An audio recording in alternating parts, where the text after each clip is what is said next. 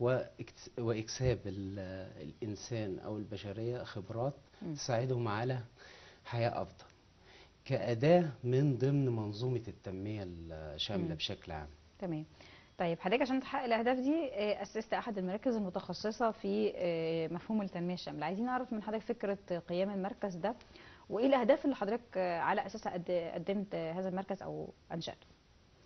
هو الهدف الرئيسي إن إحنا عندنا خبرات حابين إن إحنا نتعاون بيها مع الحكومات العربية بشكل عام أو مع الجهات من خلال إعادة هيكلة منظومة ومفهوم الدولة والمؤسسات مم. فعلى سبيل المثال كان عندنا المشروع ال- نقول الأكبر على مستوى العالم هو مشروع الدولة الإنسانية الحديثة الفاضلة ده يعتبر أكبر مشروع بحثي لنمذجة الدول في العصر الحديث. بنخرج من مفهوم المشروع دوت كيف ننشئ دولة عصرية حديثة. أو دولة مستقبلية نموذجية. فالمشروع دوت كنا عاملينه على نموذج تطبيقي مصر وكان تقريبا في 2010 انتهينا من إعداد المشروع وكنا على أمل إن إحنا نبدأ تنفيذه جت الثورة برضو كنا على أمل إن إحنا ننفذه لحد الآن يعتبر كتالوج لإدارة ونمذجة الدولة مم.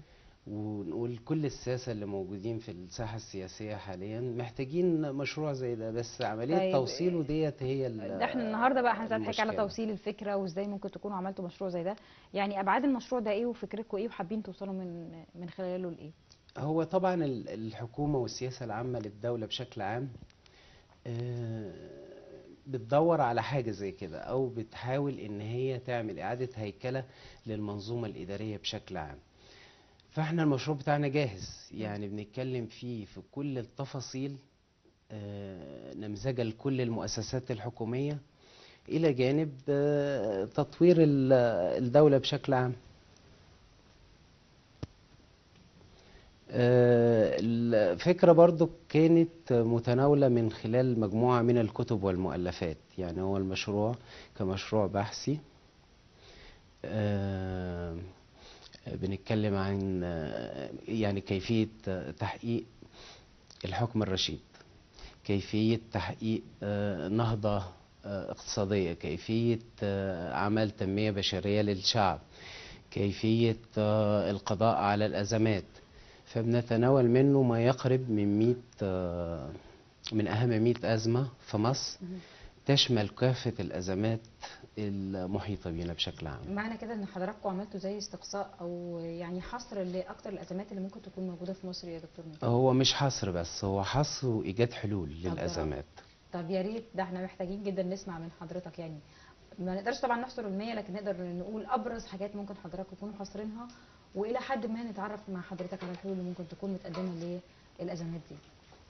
يعني عندنا أزمة إسكان عندنا أزمة بطالة عندنا أزمة ده, ده آه، كل موضوع من دول الحقيقة كارثة في, آه، حد صحة وعلاج أزمة زحام. طيب لو خدنا الصحة مثلا. آه يعني إيه الحلول اللي حضراتكم ممكن تكونوا مقدمينها الحلول سهلة وبسيطة. تقريبا موازنة الموازنة العامة للدولة في الصحة 30 مليار. ساعة لما كنا عاملين المشروع كانت تقريبا حوالي آه، 20 مليار. في 2010 مم. النهارده للأسف مش زادت كافية وزي ما حضرتك شايف خدمات 30 الصحيه في مليار مصر ال 30 مليار الحكومية فيها بينفقوا مشاكل كتير بالظبط بي... ب... الدولة بتنفق ال 30 مليار فين؟ فين بقى في المرتبات في كل الجهاز الاداري الدولة مش في الصحة بس هتلاقي ثلاث. أرباع فما عندناش. إنفاق على البحوث العلمية الطبية مم. ولا على تطوير مفيش المستشفيات آه، يعني طريقة الطريق- الأموال دي بشكل أو توزيعها بشكل سليم على ما هو مفيش المطلوبة. أنت عندك مرتبات مم. هي مرتبات بتاكل كل الأهم. مم. طيب الخدمة سيئة مم. طب نعمل إيه؟ نحط نعرف من منظومة جديدة فعلى سبيل المثال أنا كنت حاطط مقترح بإعادة هيكلة آه، المنظومة الصحية بشكل عام إن إحنا بدل ما تبقى المرتبات على نفقة الدولة تبقى على نفقة شركات إدارة وتتحول وزارة الصحة لجهة رقابية مم. على المنشآت الصحية طيب والشركات هتكسب إيه ما هو دايما حضرتك أنت عارف لو الشركة بتدخل بت... بتبقى محتاجة إنها تعرف هنعمل تأمين بتربح إيه. شامل على الشعب إحنا عندنا مم. 100 مليون تقريبا 25 مليون قوة العمل ال 25 مليون قوة العمل ديت التأمين بتاعها على حساب الشركات وجزء. بيتخصم منهم على حساب الأفراد نفسها. نيجي نبص مثلا عندنا الجيش عندنا الشرطة عندنا بعض. الجهات الحكومية. نقدر آه، الجهات ديت بتساهم في جزئية التنمية آه، في جزئية التأمين الصحي. يفضل عندنا 50 مليون اللي هم أشد احتياجا وأكثر فقرا الصحية بالظبط وأكثر فقرا وأكثر مرضا مم. بنعمل بوليس التأمين لكل شخص من ال من ال 50 مليون دولت فعلى سبيل المثال مثلا خلينا هنعمل البوليصة ديت آه، في حدود 20 ألف جنيه. علاج سنوي هتكلفنا قد إيه؟ لو قلنا حتى قيمة البوليصة 5% يعني تكلفنا حوالي 1000 جنيه يبقى إحنا محتاجين 50 مليار جنيه. للتأمين الصحي. في عندنا 30 مليار متوفرة من الموازنة يفضل 20 مليار نغطيهم منين ال 20 مليار. مم. هنغطيهم من خلال تأجير الجهات الصحية ديت والمنشآت الصحية ديت عشان نعمل لها ابجريد ونعمل لها تطوير. هنعمل لها تطوير منين إحنا ما عندناش أموال نضخها في المنظومة. فحضرتك على سبيل المثال شركة إدارة فهتاخدي مستشفى مثلا نقول أبو الريش. متهالكة مثلا ولا تعبانة ولا كده هتبدأ تجددها هتبدأ تحط فيها معدات أحدث هتبدأ تطورها هتطور المنظومة بشكل عام. إلى جانب إن هي هتتحمل التكلفة بتاعة المرتبات الخاصة مم. بالدكاترة والممرضين والنظافة وكل شيء مم. يبقى إحنا شلنا التكلفة على حساب الشركة إلى جانب إن الشركة ديت في النهاية هتديني ضرايب هتدفع لي ضرايب فهتعمل لي نمو للقطاع الصحي ممكن تغطي لي ال 20 مليار الباقية من خلال التأجير هناخد طبعا نظام بي أو تي اللي هو حق انتفاع. حق انتفاع آه، بمدة معينة مم. إلى جانب إن أنا هستلم المنشأة ديت في النهاية منشأة نموذجية بدون ما تكلف الدولة أي شيء عملت الدراسة ديت والبحث ده تقريبا إن إحنا عندنا هيبقى في أوفر مم. في ال- في الدخل حوالي 80 مليار هيدخلوا لنا من المنظومة ديت. هنصرف 50 هيفضل عندنا 30 مليار 10 مليار ممكن تضخ في علاج الأمراض المزمنة مم. و10 مليار بتضخ في آه، نقول آه، العلاج على نفقة الدولة اللي هي الحاجات المستعصية اللي ممكن تتعالج في الخارج وما مش قادرين نعالجها هنا و10 مليار تضخ في منظومة البحث العلمي وتطوير كليات الطب. بدل ما يبقى عندي كلية يبقى عندي 10 كليات وبدل ما أخرج ألف أخرج 10000 مم. وطبعا الطب محتاجينه في جميع أنحاء العالم نقدر نستفيد من خلال الكوادر البشرية ديت والأطباء اللي هيطلعوا بره حتى.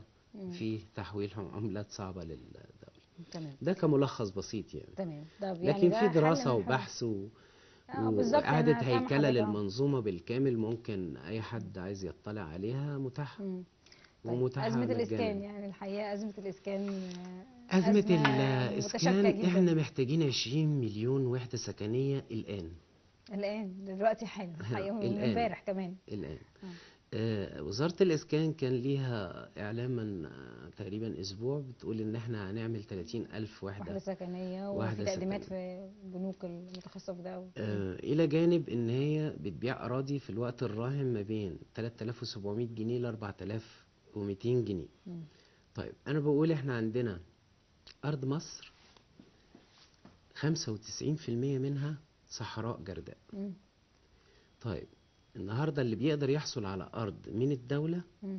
بنظام البلطجة بمعنى إن هو يا إما شخص حط إيده على الأرض أو بيسموها قانون تقنين وضع اليد ده قانون فاشل وفي نفس الوقت محتاج لإعادة النظر فيه. ما ينفعش مجموعة من العربان أو مجموعة من الناس تحط إيديها على أراضي الدولة وبعد كده نقنن لها مم. الأرض. الأرض ملك الشعب. صحيح. مش ملك الحكومة ولا ملك الدولة. صحيح. فجيت قدمت مقترح لوزير الإسكان. مم. كان المقترح كالتالي بقول لهم يا جماعة إحنا عندنا أزمة إسكان.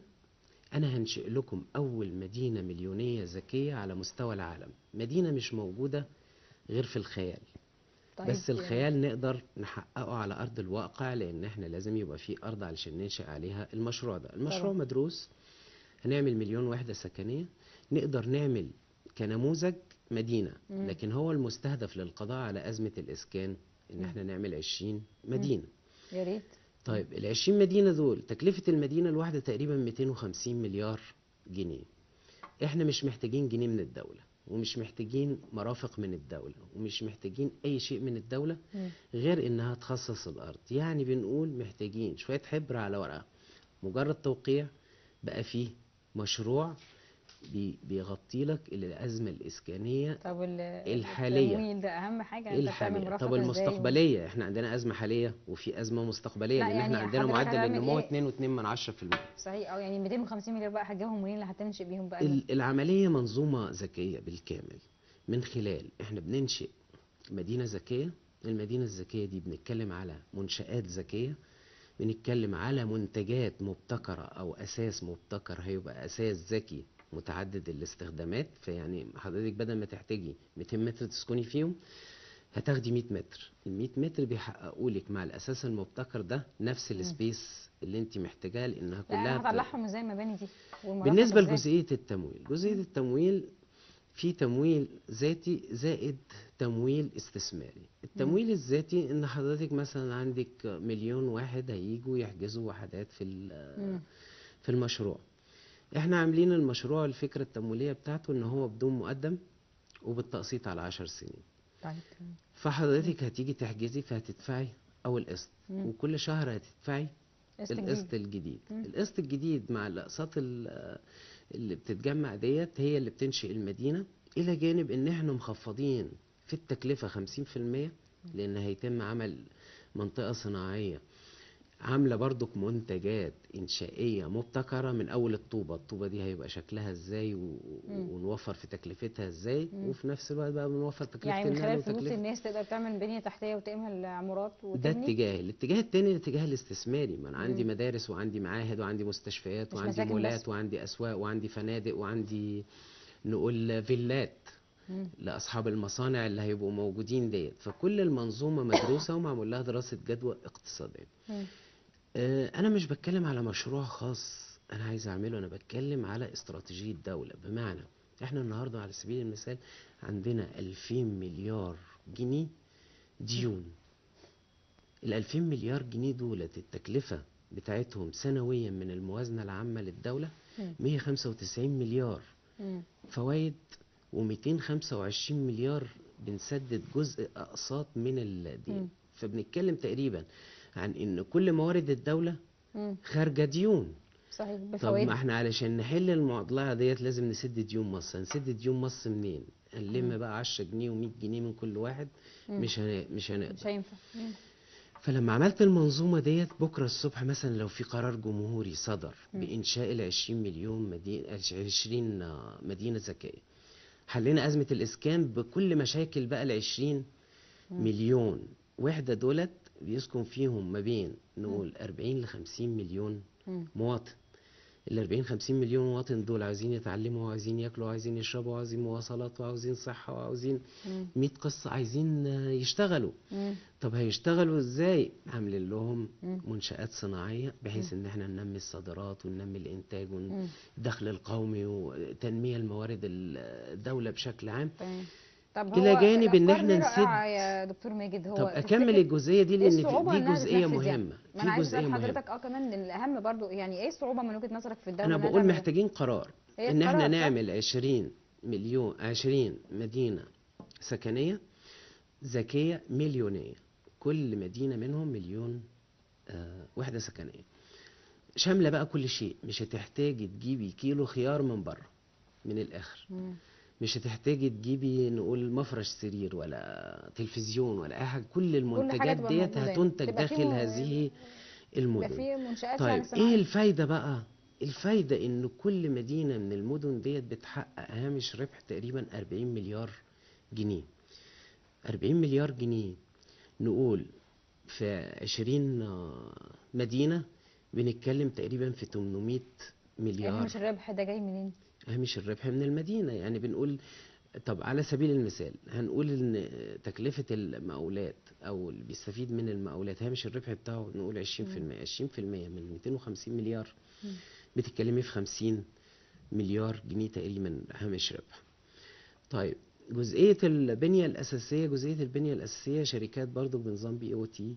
هتيجي أنا عندي مثلا بدفع فاتورة الكهرباء لشركة الكهرباء. هتيجي الشركة بتاعت حضرتك تعمل الكهرباء وتنفذ محطات توليد الكهرباء وأنا هدفع لك مم.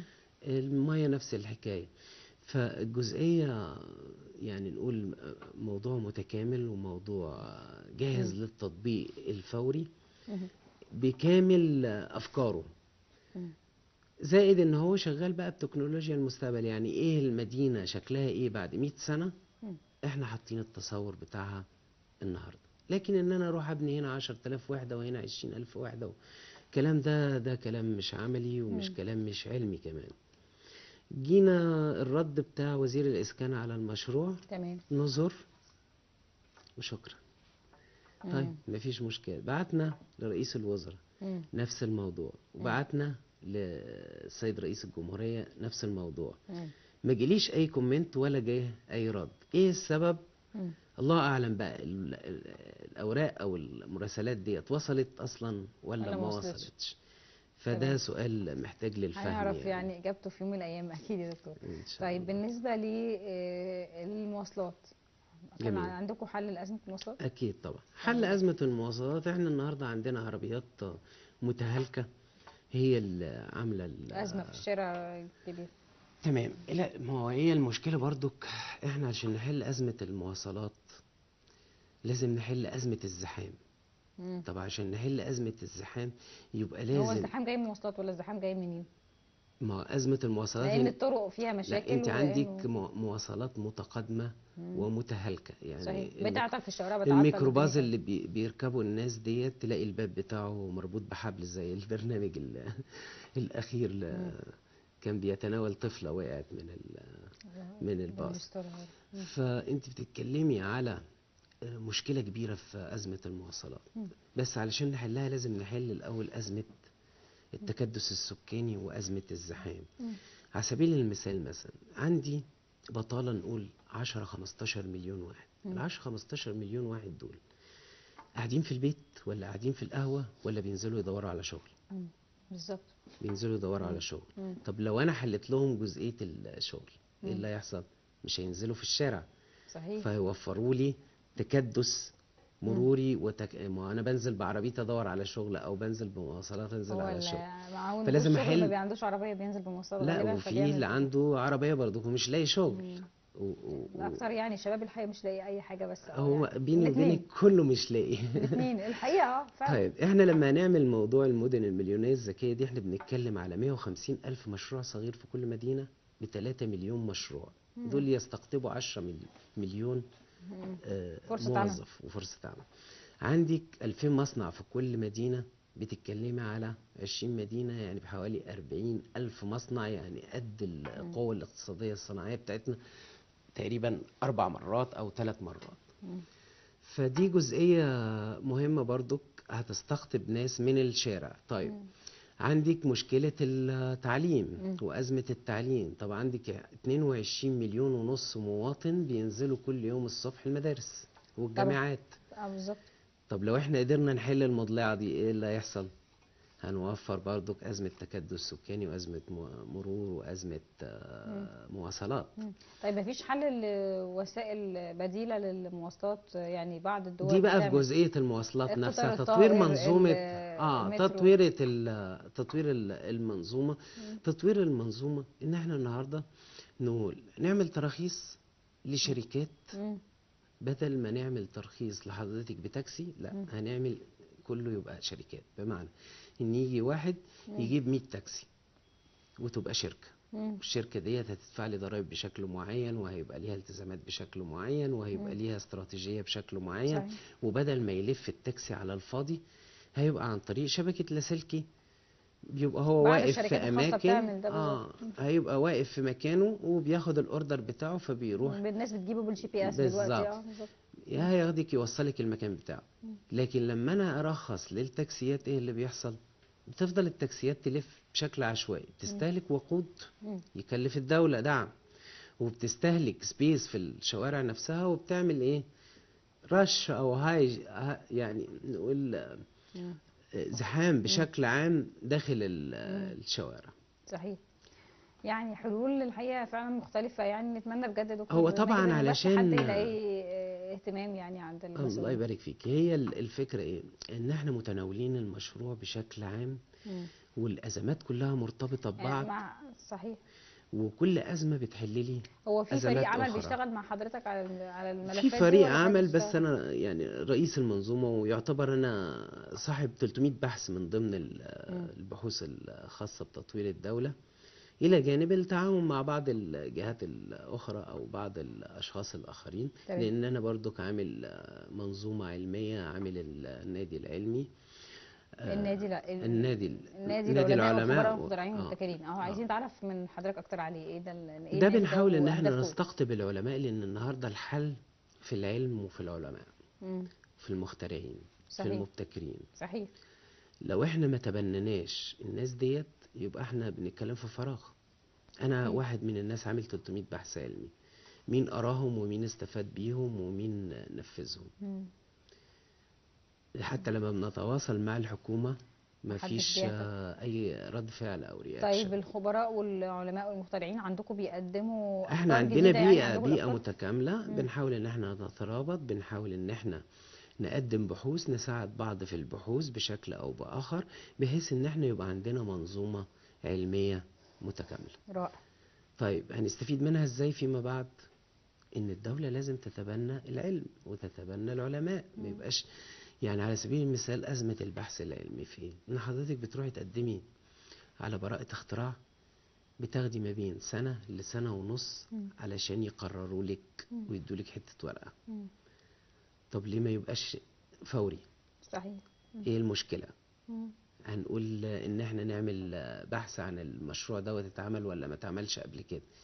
لا اديني براءة اختراع مؤقتة ولو طلع ان حضرتك عملتي نفس المشروع دوت أو مم. نفس الفكرة دي قبل كده. بتتلغي البراءة ديت. بيسموها إيه؟ زي الموافقة المبدئية لإنشاء مصنع مثلا.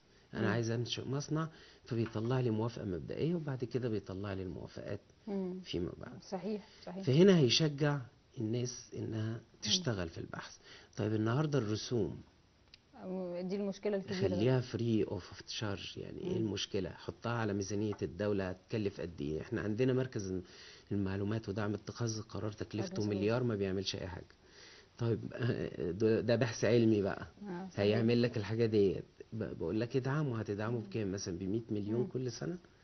فبقى في سهولة لجزئية حق الابتكار وحق الاختراع كشهادة مثلا صحيح. محتاجها طيب أي أي مخترع أو مبتكر بيجي لكم يا دكتور ماجد بتتعاملوا إحنا معاه إزاي؟ عندنا عندنا جروب وعندنا صفحة على الفيسبوك وعندنا موقع إيه؟ إلكتروني نا- نادي العلماء والخبراء والمخترعين والمبتكرين صحيح فاحنا بنشتغل على والعملاء الأربع العلماء بقى والمخترعين والمبتكرين بيجي لكم من خلال الصفحة يعني. إحنا بنتواصل كل آه. يوم يعني. هو آه. النهارده الفضاء الافتراضي بقى مم. متاح عندي ناس من كذا دولة. كمان. آه. مش من مصر بس. تمام نفسكم تحققوا حاجة من خلال النادي ده الفترة الجاية؟ والله نفسنا إن البحوث بتاعتنا دي آه، الدولة تتبناها يعني. النهاردة الدولة آه، بتتكلم في إن إحنا عايزين مبتكرين. آخر خطاب للرئيس كان إحنا عايزين مبتكرين وعايزين. فكر إبداعي وعاوزين وعاوزين. وعاوزين. أنا بقول للرئيس الفكر موجود والإبداع موجود والابتكار موجود. وعندنا منظومة نموذجية بكرة الصبح لو اتطبقت في مصر بقت مصر من من أوائل الدول المتقدمة على مستوى العالم. ده وعد نقدر نطبقه وفورا بقرار مش محتاجة لسه إن إحنا يعني هندرس بحوث وهندرس دراسات معينة. لا ده إحنا بقول بكرة الصبح قرار بقى عندنا 20 مدينة مليونية ذكية مش موجودة على مستوى العالم. مم. يعني موجودة في خيالي وموجودة في فكري. ليها موقع إلكتروني ممكن حضرتك تخشي المدن المليونية الذكية. على الإنترنت هيطلع لك الموقع الإلكتروني وهيطلع لك الصفحة وهيطلع لك الفيديو بتاعها وهيوريك الاستراتيجية بتاعتها يا ريت لو عندكم حد في الإعداد دلوقتي يكتب المدن المليونية الذكية على الإنترنت هيطلع الفيديو وممكن تعرضوا. جزء منه نتمنى آه يشوفوا مع حضرتك. تمام طيب آه، الحقيقة برضو حضرتك رئيس الأكاديمية العالمية للعلوم والمعرفة عايزين. نفهم برضو إيه الأكاديمية وإيه دورها والله هي وهدف. ال- الفكرة إحنا عايزين نطور منظومة التعليم. إيه رأي حضرتك في التعليم؟ لا تعليق. بنخرج. هيقول لحضرتك في مصر يعني في مشكلة كبيرة جدا في التعليم الحقيقي؟ زي ما. قلناش إنها وصلت لمرحلة الكارثة يعني.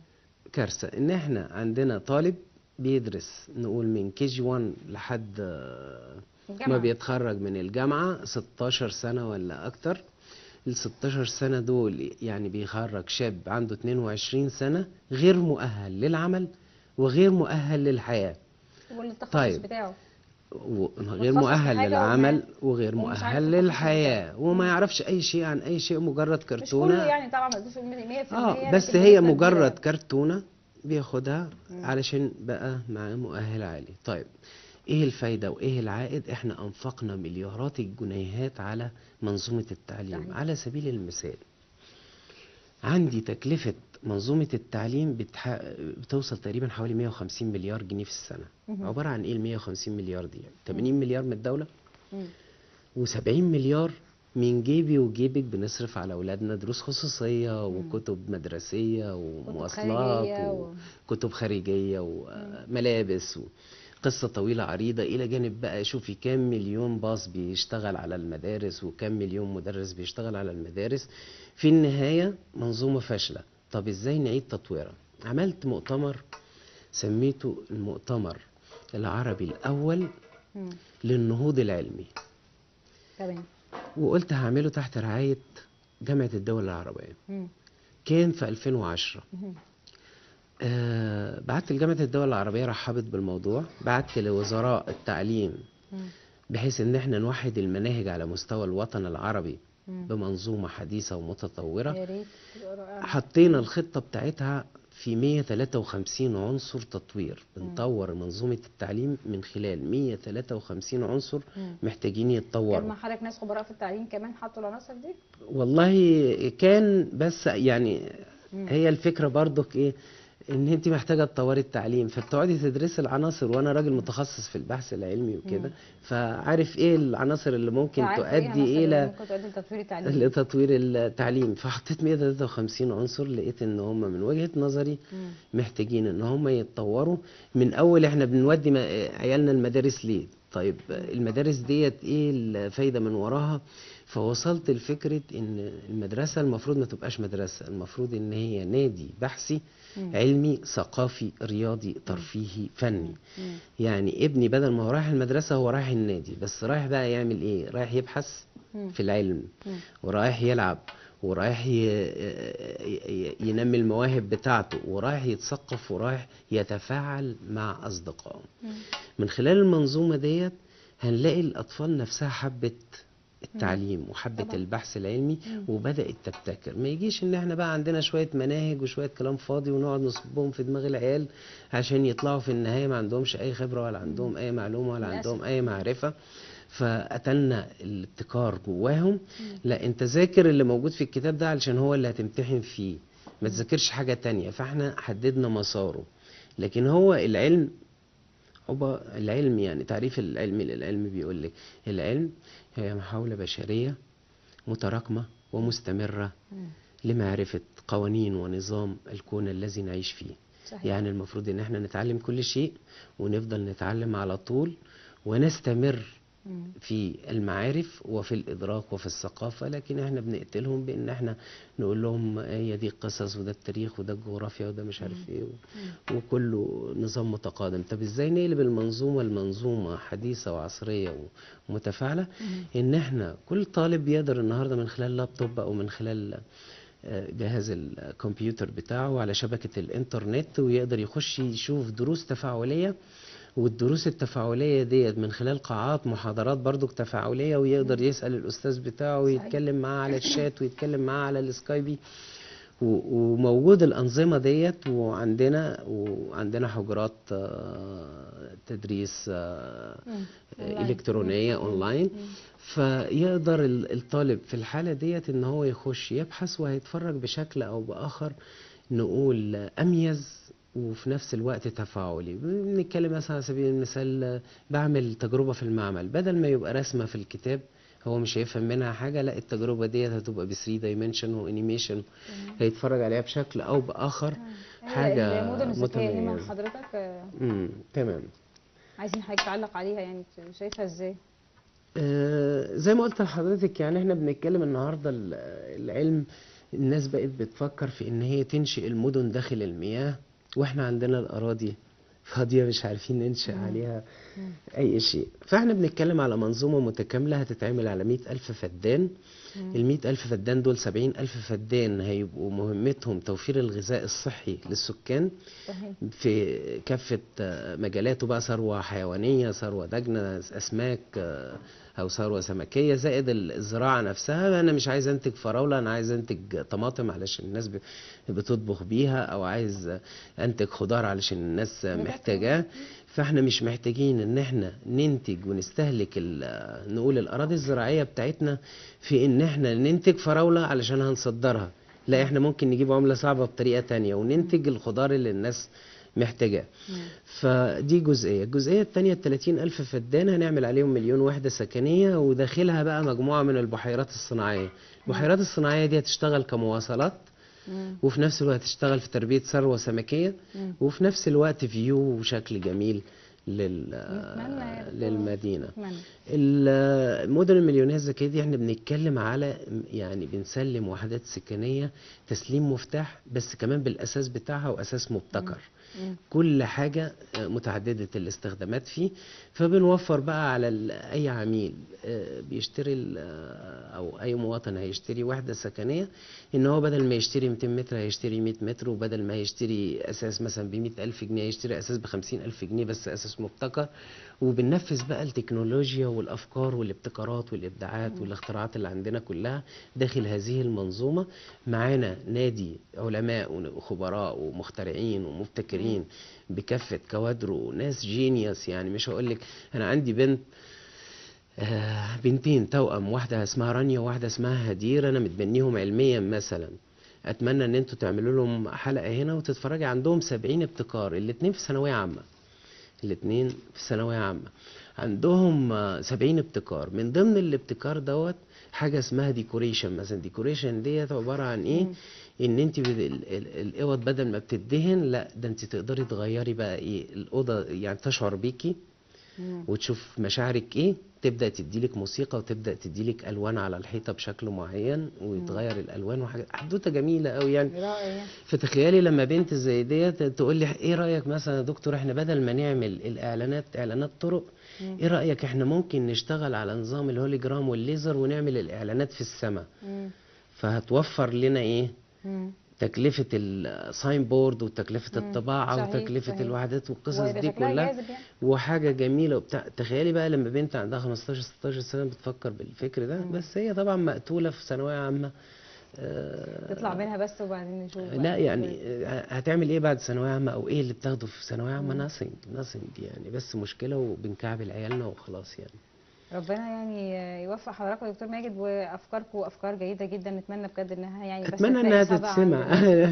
أتمنى إن هي و- تتسمع للأسف ما فيش حد إحنا يمكن بنوجه حاجة. رسالة دلوقتي مثلا حضرتك بنختم مع حضرتك آه، الفقرة دي فيمكن حضرتك تحب توجه. رسالتك لمين وتقول فيها إيه والله أنا بوجه رسالتي للقادة السياسية برئيس الجمهورية ال- رئيس الوزراء السادة الوزراء أنا عندي نموذج نقول كتالوج زي كتالوج التلفزيون كده إزاي نعمل سلامة للتلفزيون وإزاي نشد الفيشة وإزاي نركب الفيشة إزاي نبرمج القنوات الحاجات دي كلها. ده بس على مش تلفزيون لا على دولة. دولة بجميع هياكلها بجميع أنظمتها. آه، نقول مش محتاجين غير قرار يتفعل. آه إحنا هنعمل إيه؟ فأي شيء هتلاقيه موجود داخل هذا الكتالوج. محتاج بس يتطبق علشان نحل كافة الأزمات بتاعتنا بقرار واحد بنقول نعم نستطيع معا تحقيق نهضة مصر ومطالب الشعب بقرار سياسي في دقيقة واحدة فقط. نتمنى يا دكتور إن شاء الله بنشكر حضرتك جدا سعيد بلقائكم وكنت برضو أتمنى إن إحنا نتكلم عن الشباب وعن تنمية وتطوير الشباب. آه، لكن إن شاء الله نرجيها الحلقة نتمنى بجد آه قادمة إن شاء الله. إن شاء الله لأن ده موضوع. حيوي وإحنا عندنا 60% من البلد شباب. فمحتاجين إن إحنا نحط لهم رؤية وفيجن آه، إلى جانب بقى رؤية في كل شيء يعني إحنا الحقيقة بالظبط. يعني يمكن حضرتك أثرت ده من خلال فرص العمل اللي ممكن توفر لهم ويعني يمكن ده الأهم مش والله إحنا نقدر نشغل يعني 20 الشباب مش مليون مواطن بكرة الصبح. أكتر ما تطوير في, في على سبيل المثال. كنموذج لحد لما يبقى لينا حلقة إن شاء الله متخصصة في الشباب. تخيلي ممكن بكرة الصبح 20 مليون متعطل عن العمل يشتغلوا على الكمبيوتر. وعلى الحاسب الآلي من خلال برامج بسيطة هتتدربوا عليها مثلا في خلال أسبوع ولا حاجة وكل واحد يحقق دخل ما بين 100 دولار لحد 5000 دولار هو وكفاءته وهو ونشاطه وهو وقدرته وهو ورزقه برضه فدي. حاجة سهلة هتقضي على البطالة وهتدخل لنا عملة صعبة صحيح كل الشكر لحضرتك يا دكتور ماجد ونتمنى بجد الأفكار دي كلها تجد على يعني إتاحة الفرصة مكانها لينا. وبشكل خاص لك. الشكر ليكي ربنا يكرمك. ونشكر حضرتك جدا دكتور وسعداء علاء. و...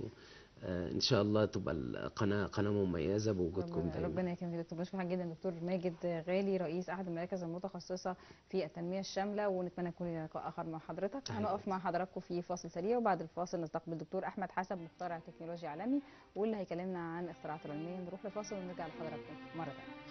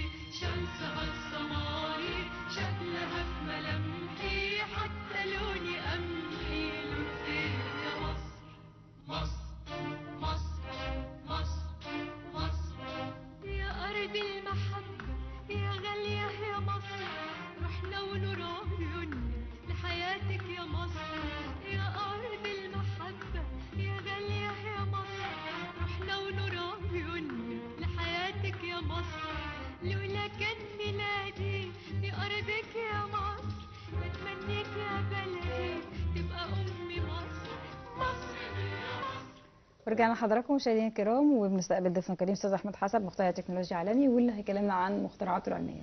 مرحبا بحضرتك معانا. أهلا بحضرتك يا أستاذ الحقيقة في البدايه أستاذ أحمد يعني عايزين نعرف لقب مخترع تكنولوجيا عالمي ده مش لقب سهل. آه، وصلت آه. اللقب ده إزاي؟ وبدأت عشان مع رحلة. الاختراع من زمان أكيد. لا آه طبعا عشان براءة البراءة العالمية.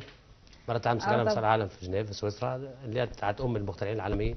تمام. طيب بدات دخلت في المجال ده إزاي؟ تفتكر أول اختراع عملته يا أستاذ أحمد؟ كنت عيل صغير. نفتكر هو بقى معاك. لذلك إحنا ما بنحبش نقول إن مثلا ما بنحبش نقول الدكتور فلان عشان المخترعين الصغيرين اللي بره ما فكرش لازم يبقى دكتور عشان يبقى مخترع. لا إحنا كنا مخترعين إحنا صغيرين. أول حاجة استعملت مسدس وأنا صغير. عملت إيه؟ مسدس صغير كده. مسدس. إزاي؟ آه والله مسدس بصحيح يعني ضرب طويل صحيح يعني. مسدس أصل ناري إحنا طبعا يعني عيلتنا أسرة عسكرية وكانوا في الح- الحروب والكلام ده. فكانت كل اللي قدامي عايز أعمل أي حاجة فعملت مسدس صغير كده كان جميل يعني. عملته إزاي يا أستاذ عم- فكرة مسدس كنت سنك. قد إيه؟ كنت في سنة تقريبا تاني إعدادي. تاني إعدادي. تاني إعدادي، إيه آه. اللي خلاك تفكر بالشكل ده وعملته إزاي؟ كان أهلي كلهم في الجيش. آه. ضباط وقاده وكلام من ده. والواحد الحياة كلها عسكرية على أساس إسماعيلية. فكانت كل حاجتنا اهتماماتنا الأسرة كلها- في آه كان كل حياتنا. الحرب عايز بلدنا والكلام ده. كان فا- كان فاول حاجة فعلت بقى أعمل مسدس. زي حتى لما كبرت عملت حاجات برضه عسكرية حلوة يعني في طب بالنسبة. للمسدس عملته إزاي؟ آه، فكره المسدس ما تعمل مسدس. يا يقذف آه تمام. بس كده خلاص طيب تمام. طيب آه بعد كده آه كملت دراستك يا أستاذ أحمد؟ آه ده ده- دخلت حاجة علمية؟ دخلت كلية آه؟ علوم آه. بس كنت بس كانت ال ال- يعني مش عاوز يعني كنت وأنا صغير كنت مخترع وكانت البلد ضلمة. البلد ضلمة كانت ضيقة علينا يعني ما كانش مش عارفين نوصل. مم. مش عارفين ما كانش في مكان قدام مكان قدام مننا وكانت مثل البحث العلمي كانت حاجة بايظة. كانت فساد يمكن أنا من الناس اللي أثروا الكلمات أو المنظر اللي موجود عليها دي كنت تيجي تسلم الاختراع وتمشي. مم. بس وخلاص. اخترعت بحطه وأمشي. بس وخلاص. مم. وكان بيمشي كان فساد فساد يمكن أنا يمكن من أول واحد جريت على الحكاية دي إنها تبقى ليها مم. تاخد يعني يبقى في سجلات وفي ورق وفي حاجات زي كده. كان الأول تسلم بقى تمشي خلاص. مم. وضاع ملفات مني قد كده على طول نكتب ونسهر والكلام ده. كانت الدنيا البلد كانت ضيقة شوية ما كانش فيه كمبيوترات كتيرة ولا الكلام ده. كانش فيه كنا بنكتب على كاتبة والحاجات دي ونكتب بإيدينا. وللأسف خدت وحش بطبعي. فدي برضو كانت من الحاجات اللي, كانت وحشة. فلذلك ما بحبش إن إحنا لما نيجي على التلفزيونات ما نقولش إن إحنا الدكتورات بتاعتنا أو الماجستيرات بتاعتنا ما بنحبش كل الكلام ده خالص. بنحب إن إيه؟ مثلا مخترع وبس. علشان الصغير ما يحبطش. لأن المخترع ده موهوب. ملكة موهوب. يعني زي اللي بيلعب كورة زي الصوت حلو. واحد موهوب موهوب مخترع. طيب اللي عنده آه، ابنه عنده مواهب كده. حاسس إن هو ممكن يبقى مخترع. المفروض يعمل معاه إيه؟ ما يحبطوش. ما يحبطوش خالص وي, وي... انت لقيت رعايه من الأسرة يا آه أصل والدي أساسا إيه زي ما تقول في عيلتنا الحتة دي فده كان مبسوط مني يعني كنت عامل حاجة كده أول ما شاف ضحك وانبسط وبقى مبسوط مني جدا عارف ان الف هو الله يرحمه قال لي أنت هتعمل حاجة. الله يرحمه. يعني كنت بقى عليه كل حاجة وأشاوره وكان ذكي جدا جدا مم. وكان يعني رحمة الله عليه يعني كان كان رحمة الله كان. بيشجعنا في كل حاجة طيب آه، مخترعاتك بقى اللي توالت بعد كده يا أستاذ أشهرها إيه أو أبرزها يعني آه، عايزين. نستعرضها معاك كده أقول لها في حاجات عسكرية مالناش دعوة بيها مش مشكلة آه في حاجات. بقى إيه، يعني هي مع بينفذها الجيش بس أو بس هي متعلقة بالحالة المدنية كنت عامل جهاز الاطفاء دوت تعتبر- جهاز الإطفاء؟ جهاز إطفاء آه. اللي هو إيه؟ يعني هو عبارة عن جهاز بيمنع الحريقة مفيش في حريقة بتحصل شغالة في البلد اهي بتحصل حريقة هنا وحريقة هناك وكل يوم التاني الجهاز دوت مش محتاج عربية مطافي المشاكل دلوقتي مع الدولة إن اللي بيوردوا لوزارة الداخلية هم اللي واقفين ضد مش عايزين ال- الاختراع ده يمشي واخد براءه على مستوى العالم مم. بل اللي بيورد للدولة الداخلية عاوز الدولة أسيرة ليه عشان بيستفيد منها بدي لها يجيب لها حاجات ويبيع لها وياخد فلوس. انما أنا الجهاز بتاعي مش عاوز حاجات من دي خالص. نهائي ده بيركب في العقار. الشقة بتكلف 200 جنيه في في في ال- في التكلفة كلها ثمن حاجة بسيطة في. مم. بتعمله إزاي يا أستاذ؟ ده جهاز عبارة عن إن أنا بوفر المواد الخ... المواد مواد الإخماد في في المكان بتاع ال... في مكان ال... اللي أنا عاوز امنه. يعني عقار زي مبنى التلفزيون ده هو كان بداية الاختراع بتاعت لما مبنى التلفزيون ده ولع زمان. كان ولع الدور السابع زمان. قعدنا نتفرج عليه كده في التلفزيون مش عارفين نفوق الكلام ده. في اليوم ده بالذات أنا فكرت أعمل البتاع دي. وجا مرة شفت حريقه كفر الشيخ اتحرقت في محكمه في كفر الشيخ في مولعة برضه كان العصر في اليوم ده قلت لا دي اربط دي مع ديت واعمل الاختراع ده. اختراع إن أنا مش عاوز عربيه المطافي عشان إيه. زحمة والطرق زحمة والعربية بتبقى تقيلة. وبتغيب عقبال ما تيجي كنا الدنيا ولعت. فده جهاز بيشتغل أوتوماتيك على سنسور. بي يعني مجرد ما ي... السنسور بيحس بالخطر عند درجة 70 درجة بيبدأ ي... ي... ي... يتوجه بيوجه غاز خام ل... لمصدر خطر خلاص ما عادش في نار. حافظنا على البشر حافظنا على الناس حافظنا على المنتجات حافظنا على كل حاجة. تمام. طيب آه آه انت عملت كمان سلم اطفاء حريق غير هو ده. هم هو- سموه كده يعني برضو من ال... من ال... هو ده اللي خدت بيه آه، ده البراءة ده. من البراءة بتاخد وقت يا أستاذ أحمد يعني مراحل البراءة إيه عشان البراءة هي برضه مرحله عشان شباب باحثين اللي حابين يشتغلوا على البراءة. ال- البراءة إن ال- ال- الفحاصين اللي عندنا بياخد دورات في أمريكا فبياخد دورات تعطيل تعطيل الدورة اللي بيروح ياخدها في أمريكا. عشان يعطل إزاي يعطل البراءة. إنما إحنا عاوزين كفاءة لأن كان اكاديميه البحث العلمي أغلب اللي فيها متعينين بالواسطة وأبناء عاملين والكلام ده يعني فما فيش إحنا مش كفاءة. عايزين إحنا مش عايزين ننتقد إحنا عايزين نفضل أصل أنا معايا براءات كتير مش مش, آه مش ل- أنا بتكلم لا- مالناش دعوة يعني بال... بمين معين مين لكن إحنا لينا علاقة بإن إحنا يعني محتاجين نعرف الباحثين اللي الحتة دي. هي اللي اتصل على مصر بحالها. ما هي دي موجودة في كل الدول لا بقابلني عيال صغيرة كده عيال صغيرة اطفال صغيرين كده. مخترعين عمالقة. يعني عيال عيال الواحد بيبقى يعني عليه مش قادر يعمل له إيه عملاق يعني موهوب مخترع. إحنا بنعرف بعض يعني بشوف قدامنا بعرفه. تمام. آه، طيب آه، إيه من الاختراعات تاني مهمة بالنسبة لك قوي يا أستاذ الاختراعات المهمة أنا والله أنا ليا في في التلفزيون المصري ده حوالي أكتر من من 300 حلقة. مم. كل حلقة للبلد. يعني أنا بخترع النظام إن أنا بخترع حاجات قومية لل- للبلد بحالها يعني مشروع بتاع ال- ال- الأرض دي. الأرض؟ نت- لا يعني كان في الاقتصاد. أنا بتاع تكنولوجيا فاشتغلنا في شوية في الاقتصاد عشان نعمل خدمة مضافه للبلد. يا ريت. آه عملت إيه عشان؟ نشغل الناس. يبقى اللي بيشتغل اللي بيشتغل يبقى منتج للبلد. عملت مشروع مثلا إن إحنا مثلا ننتج أعلاف. أعلاف للبلد. إحنا طبعا لو شفت عصاره عصارة القصب بتاعت مصر العصارات هنا بتاع القصب دي كل ده بيترمي في الزبالة بيتحرق. بيعمل ناموس البان والكلام ده كله. رغم إن ده فيه بروتين وكربوهيدرات وفيه حاجات عناصر غذائية كويسة جدا. مم. لو ده اتاخد متجمع كده واتفرم واتعمل علف بتاعت ال- الملاس دي بال- بالسلاج تحط عليه ملاس يبقى علف قوي. يعني يعني في أوروبا بيأكلوا بال الحيوانات بيعمل 25 كيلو لبن كل يوم. مم. ده, مننا أهو. إحنا بنحرق نعمة ربنا. نعمة ربنا بدها لنا بنحرقها. إحنا آه. برضه مشروع كنت عامل إن إحنا بدل ما نصدر الجلود بتاعتنا متدبغه لبره ما إحنا نصنعها عندنا نعمل ورش محلية هنا وما نصدرش من بره حاجة نجيب مصر والكلام ده إحنا أنا ألم الشباب اللي عندي وهنا إحنا ب... هنا بتلم من عند الجزارين في جمهورية مصر العربية بيروح الواحد في ال- في, ال- في القاهرة هنا بيتبغوا ويسفروا بره طب ما أنا هشغل الناس هنا. بدل ما أستورد من بره وأتخصص من من المزالم التجاري بتاع الدولة فلوس لزوم الاستيراد. أنا أجيب حجة عشان أستورد آخد بيها فلوس بقول أنا هصدر أو. أنا هستورد مم. فباخد فلوس طب. ما أنا اشغل الشباب اللي عندي ويبقى عندي جلد طبيعي ويبقى ناس حلوة وتبقى رخيصة عليا وال- والبلد يعني في حالتها مش مش يعني محتاجة محتاجة محتاجة يد أمين على مساحه البلد محتاجة إخلاص. صحيح. ما ناخد المنتج الطبيعي بتاعي دهوت ورخيص عليا. وأعمل ورش فرق عمل وادرب الشباب وأشتغل ويبقى حلو الحكاية. صحيح. ما فيش فيها حاجة دي بس الإدارة عندنا إدارة سيئة خالص إدارة وسطى. أنت ليه مش متفائل يا أستاذ أحمد؟ مش متفائل أصل أنا موجود أهو. يعني أنا جات لي اخدت منحه من أمريكا آه. وبقى فرنسا بعتها لي كل يوم والتاني. وخدت منحة من ما برضه تسافرش ليه يا أستاذ أحمد الحقيقة؟ عاوز ابني بلدنا. مم. أنا مش يعني أنا مبسوط جدا ويعني يعني مش يعني ميسور ماديا ومبسوط حلو. عاوز ابني البلد بس وخلاص. يعني أنا. مصر بلدنا. وكانت المنحة اللي كنت خدتها من أمريكا كانت جت عن طريق الدكتور أحمد نظيف على رئيس الوزراء. يعني قدام الدولة. فأوروبا الناس كلها عارفة ما قيمتنا الدولة بتعمل عاوزانا لك حاجات؟ اهي مهتمة. مش ما مهتمة يعني. ده الشركة بعتت لهم هم. آه بعتت لهم. طب بعتت لهم. هم. لأن أنا ليه ليه أنا؟ فرحت بديها لل- لل- للحكومة. نفذوا المشروع. عاوز ابني بلدنا هنا ما أنا اللي جعان ده أخويا وده قريبي أنا مش مش يعني إحنا أهم حاجة إحنا بنخترع ليه؟ الدافع ليه الاختراع ليه؟ أنت بتحل مشكلة قدام منك. أي مخترع في الدنيا كده اديله بيانات ومشكلة يحلها لك. فإحنا بننفعل أنا دلوقتي شغلت في الاقتصاد وال- الأيام دي عشان أنا أنا بتاع تكنولوجيا. معدات بس قلبنا على الاقتصاد ليه؟ عشان شايفين اللي قدام مننا نفعل الاقتصاد اقتصاد وإدارة. تمام. فهنا ما بين متخذ القرار وطالب الخدمة في هنا الفساد كله. نتمنى إن شاء الله إن الفساد ده ما يبقاش موجود يعني الله يبارك طيب آه، إيه تاني من اختراعات آه، برضو مهمة بالنسبة لك يا أستاذ أحمد تفتكرها كده معايا اللهم كلهم مهمين طب ما أنا عامل اليومين فعلا دول أكتر هنزل أكيد أي. اختراع مهم لا. هنزل إن شاء الله بإذن الله يمكن الأسبوع الجاي دوت هنزل روبوت جميل جدا جدا جدا العالم كله هيتكلم عليه مش؟ بس مصر روبوت آه, آه. بيشيل الألغام ال- والعبوات المفخخة دي والعبوات الناسفه اللي بتتحط دي هي بيشيلها هو. مش عاوز بشر يشتغل عليه خالص. رائع آه سيبك من اللي هو الأمريكي اللي موجود عندنا دوت. مم. لا أنا عامل حاجة عظيمة عظيمة عظيمة. هنزله يمكن الأسبوع الجاي ولا بعدين إن شاء الله. آه تمام. ده لوحده بيتكلم بيشوف بي محترم عملته جدا. إزاي ده يا أستاذ؟ احمد 12 PH وخدت وقت قد إيه؟ والله أنا عملته يمكن هو في بالي بقى له حوالي حوالي ست سنين. مم. في بالي. فكنت لما اللي شفته لما رحت شفت كان في معرض وزارة عاملاه وزارة الداخلية زمان سنة 2009 أو 2010 مم. فحاطين الروبوت اللي بيجيب الألغام ده مم. حاجة بتاع 2 طن حديد. وضخم وقلت إيه ده طب ده إيه ده ده عاوز ده عمال يمشي إزاي ده مم. كان. محطوط في المعرض بتاعهم هناك كانوا عاملينه في في, أرض المعرض مم. فقلت هو ده مصر للشريعه ده بكام قال لك مش عارف 14000 دولار أو مش حاجات زي كده كتلة من الحديد ضخمة. فقلت هو ده ال- ال- البتاع فطبعا ساعتها وده طبعا أنا شفت المشكلة في ساعتها كنت أنا طبعا عشان كنت عامل لهم جهاز اللي هو بتاع الإطفاء دوت فرحت أتفرج على المعرض بتاعهم لقيت الحاجة كلها إيه بدائية كلها حاجات وده محطوط كده فقلت ده اللي جابه غير أمين. ده شكل بتاع ضخم ضخم يعني كتلة من الحديد بتاع 2 3 طن. طب ده يعمل إيه ده؟ فعملت أنا واحد بقى لذيذ وعسل كده وخفيف في الظل. وبيجري وسريع وحلو جميل جميل جميل يعني. آه، وسهل قد عن إيه؟ بعد حافظ على البشر. وزنه قد إيه يا أستاذ؟ وزنه حوالي لازم يعني؟ ممكن ما إحنا مش هنعمل الحاجات بعد. الأسبوع لما ينزل هننزل على الدنيا بحالها هتفرج على التلفزيون هجيب التلفزيون بتاعكم ده.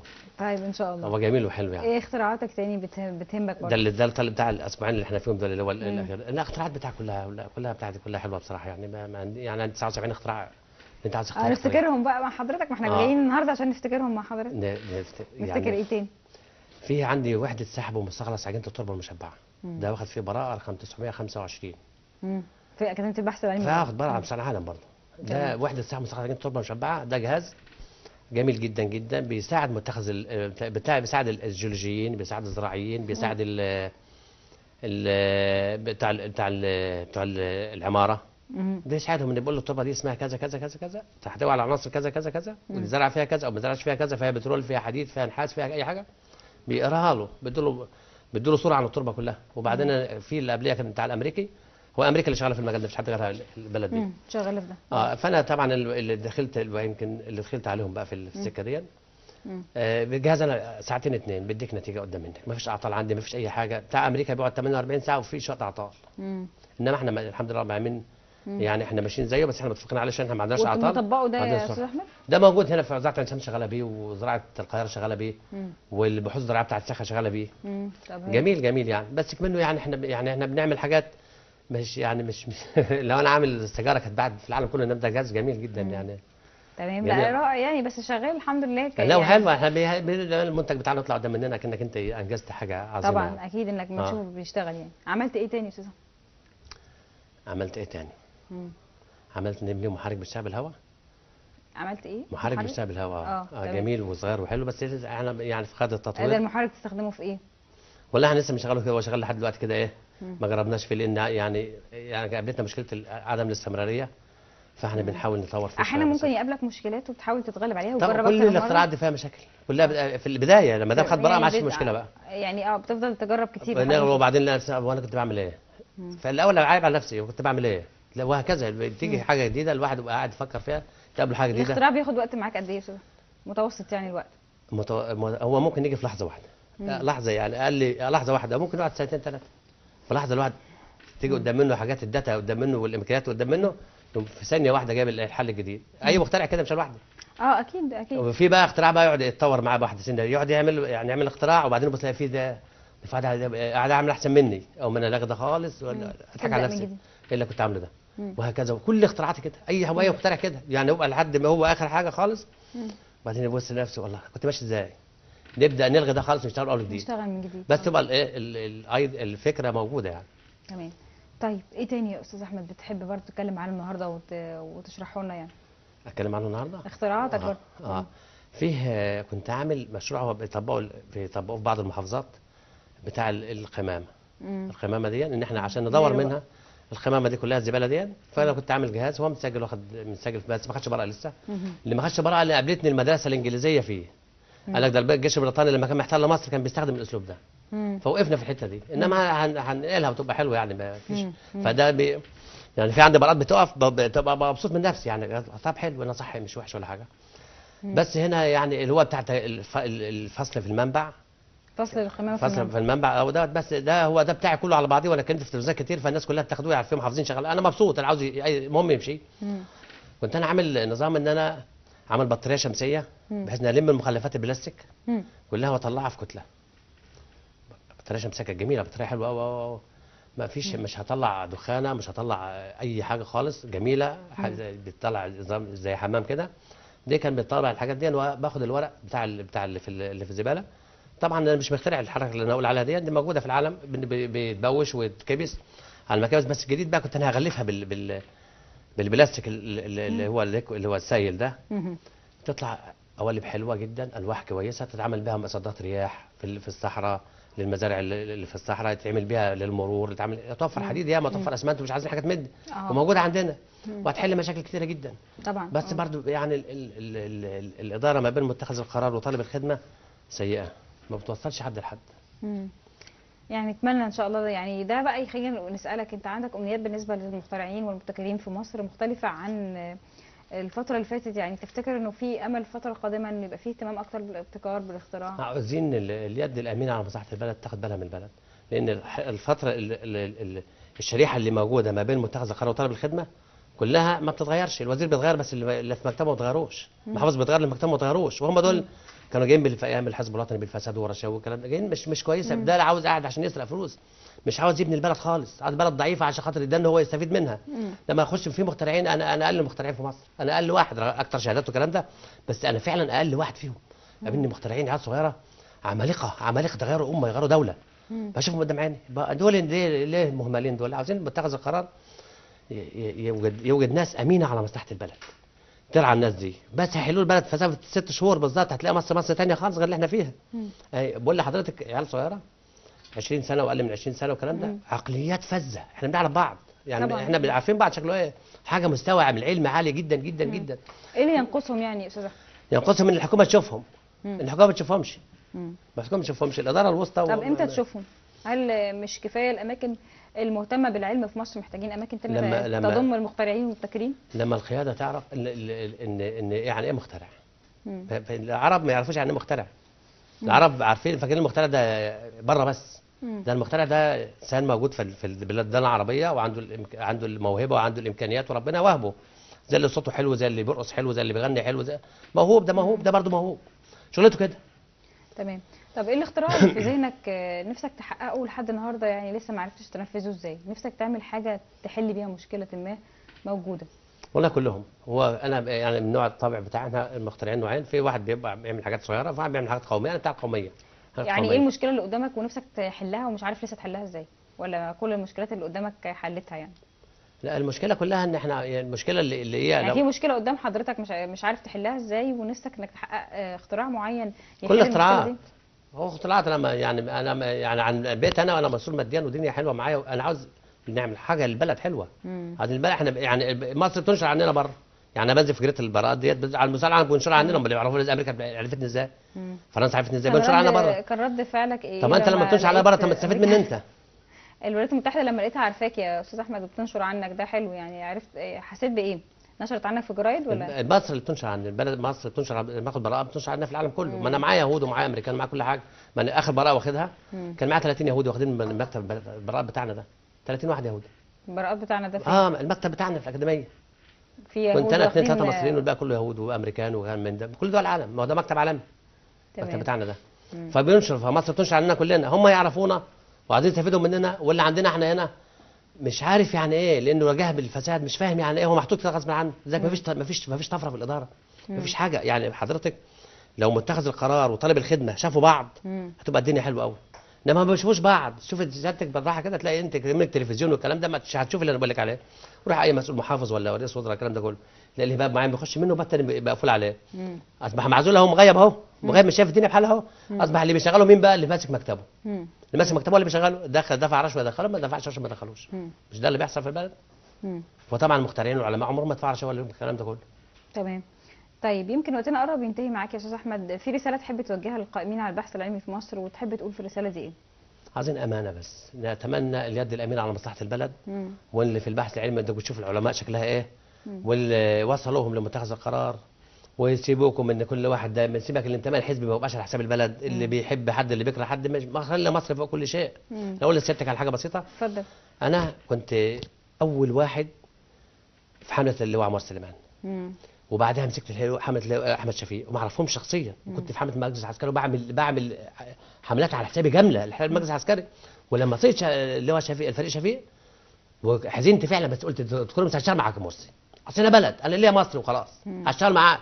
وحبينا نشتغل معاه وعرضنا نشتغل معاه ولقينا المستشارين اللي معاه برضه في سنك خالص تعبانين خالص. كان اونطه في اونطه فإحنا آه، إحنا يهم أهم حاجة يكون عندنا مصر. أهم حاجة مصرنا. يعني أنا لما ده اللي أنا بشجعه ما, ما نجحش تاني البلد يعني ما يهمنيش مين بس يهمنا مصر في اللي فيها.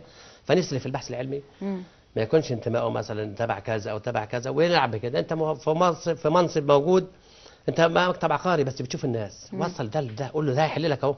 ده يا ريس عندي عيال هتحل لك يا ريس. عيال صغيرة كده عندنا في البحث العلمي بيجوا مخترعين. علماء. يعني الواد يبني دولة. أنا بشوفه قدام مني الواد يبني دولة جديدة خالص.